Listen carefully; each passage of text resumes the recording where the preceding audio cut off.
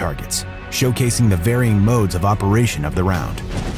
The Mark 310 is a versatile round, capable of being programmed to airburst at a given distance, point to detonate on impact, or point to detonate delay. With the exchange of the barrel and a few parts, the XM813 is easily converted to 40 by 180 millimeter, further increasing lethality and overmatch.